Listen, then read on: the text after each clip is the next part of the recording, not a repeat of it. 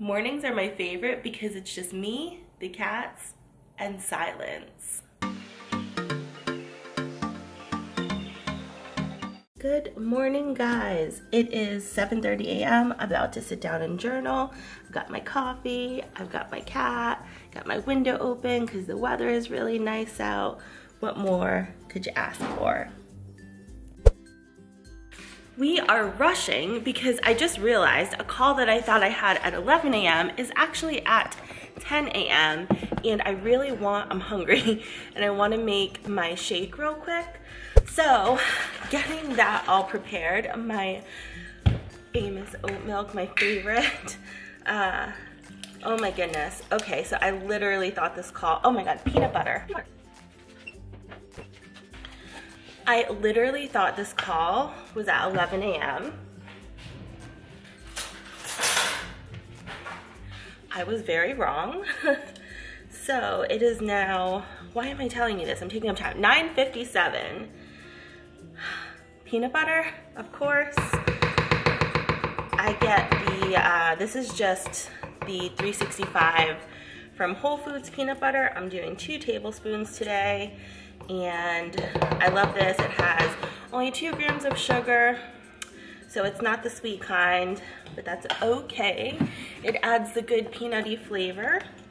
Two scoops of my Ollie chocolate protein powder, of course. One, two, oops. It comes with this nice little thing where you can keep the cap on the top so it doesn't fall in, but I always forget and I throw it in and then I end up with the powder all over my hands anyways. Love that for me. Okay. I added in my banana already and some ice cubes. So we are good to go to blend up. All right, all blended. And we have a shake with one minute to go. Love that for us. All right, here we go. Back to the office. Added my cacao nibs, of course. And we have to hustle to get onto this Zoom call. Meeting is over, went well. My hair looked crazy. I turned my Zoom on and I was like, oh good, I'm glad it looks like I didn't brush my hair because I probably didn't. Um, that's okay though. I like quickly turned my camera off, fixed my hair. I think it looks a little bit better now. Um, but time for lunch. So we decided to come to Bolay for lunch. I ended up getting half chicken, half tofu, and lots of Brussels sprouts and kale as well. All right, Bean Bean, you ready for lunch, my big boy? Lunch. Follow me to your table. It is right over here, sir. And there you go. So Ricky doesn't actually eat lunch. He's just chilling out here on the couch. He only eats breakfast and dinner because he's a skinny legend. Uh, no, he just prefers to only eat twice a day. So that's what he does. He has a very sensitive tummy. So we do whatever works for him. Do I look as mentally worn out as I feel? Because it is five o'clock and your girl is ready to be done. Hello, Ricky. So I'm going to put my hair up and find my shoes because Adam and I are gonna go out for a walk. The weather is so nice. It's like 65 degrees. So I can't go out in my slippers though. I will live day all the live long day. I'll be moving along, singing my song, running around, ain't nothing wrong. Ah, ah, ah, the live long day. Hey guys, back from my walk, and Adam and I have decided that we're gonna start a podcast. I don't know if anyone's gonna listen to our podcast, probably not, and that's totally fine. It's really just like a quarantine hobby for us. And if you're like, girl, you went out to eat lunch today, we sat outside. We went to Bolay, which has like um, tables outside that are socially distant, and also hardly anyone ever sits outside when we're there. So it's pretty. Is pretty safe. It's definitely us taking a risk because normally we literally go nowhere. Um, and we have eaten out probably like five times in total and never at like an actual indoor restaurant, that's for sure. Uh, but we are feeling like a little fr- frisky today.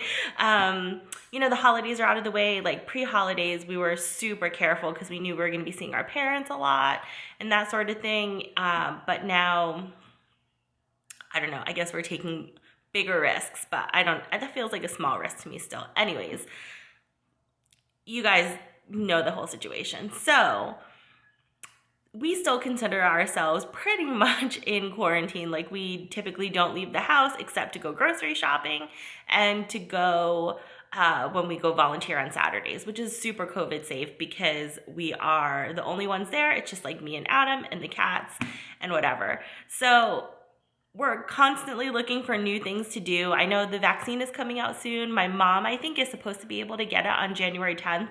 So my fingers are crossed for her that that's going to happen because I've been really worried about her. She has a really compromised immune system, and um, her partner also has underlying health conditions. So I'll feel so much better once the two of them get their vaccine. But I think it's still going to be a while before Adam and I are able to get it. And we're in no rush because, quite frankly, like we're homebodies anyways. you know, even before all of this, we kind of stuck to ourselves. We work from home. There's really very little reason for us to try to like jump the line in any kind of way. So uh, we're expecting a few more months of this for sure. Uh, and having this podcast will be a nice little hobby for us. So, can't decide exactly what we're gonna do it on, but I think so. There's a couple shows that are getting rebooted, TV shows that are getting rebooted that I really liked. So, Gossip Girl is getting rebooted on HBO Max and also True Blood. Two shows with lots of episodes that I think there's layers there to dive into. And I don't mean like we're gonna watch an episode and recap. I think there are just like layers to unpack in those shows. And so I think we might podcast about one of those two things. So if you watch True Blood or if you watch Gossip Girl, let me know so I know which show we want to dive into. We're like leaning towards True Blood because I think um, that has a wider like audience base and also I think more to talk about. Also, I can't imagine subjecting Adam to and making him watch Gossip Girl, quite frankly. So that would be only if it was like a solo podcast. Um, but yeah, I'm really excited about that. I have, you've probably seen, I have like a Yeti microphone, podcasting microphone that I bought. I want to say like probably two months ago now. That's been sitting on my dining room table table because podcasting has always been a quarantine hobby that I've had in my mind. And it's just a matter of like figuring out the topic, trying to rope someone in to be a co host with me, and then actually getting it done. So I'm super excited about that. I have not podcast in years. So back in 2009, when I was in my early in my career, one of the companies I worked for, we started a podcast and it only lasted, I think, for one season because nobody back then listened to podcasts. it's like crazy to me now that podcasting is so popular because literally when we launched that podcast in 2009, people didn't listen to podcasts. I actually thought podcasts were dead. And when I saw that some of my favorite YouTubers were starting podcasts a couple years ago, I was like, they're crazy. Nobody listens to podcasts. But in fact, I was wrong. Also, if you're like, what's going on here? We added a new fake plant to the family. um, anyways, I just wanted to tell you about that and get your feedback. Let me know, or maybe there's a different show.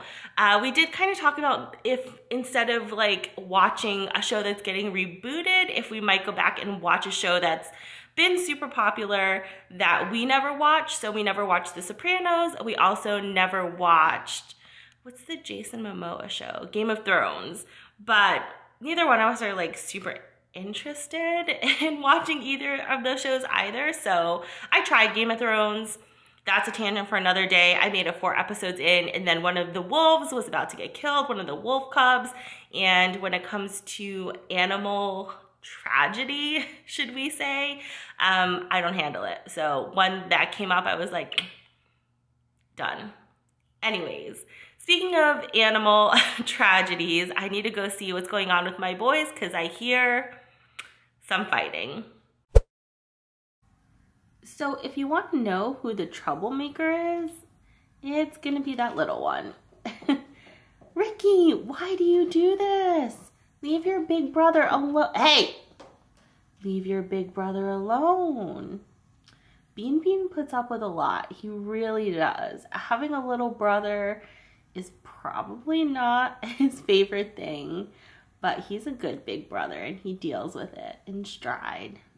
That's my Bean Bean. He's such a good boy. This is not my angle, but I think I am going to uh, sign off now. So thank you guys for hanging out with me today. If you're not already subscribed, please subscribe. And I will talk to you again very soon. Thanks for watching. Bye.